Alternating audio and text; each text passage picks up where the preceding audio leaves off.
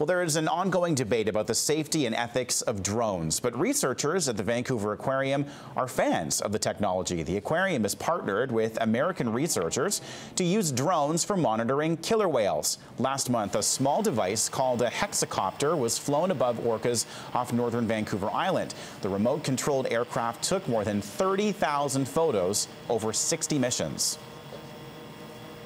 Studying killer whales or any marine mammal is challenging. It's like studying a bird that disappears every time it flies off the nest, right? Every time they go underwater, we what happens? We don't know. Well, seeing them from above, we see them going down, we see them coming up, and we see a lot more um, of their behavior than we do when we're watching them horizontally from a boat.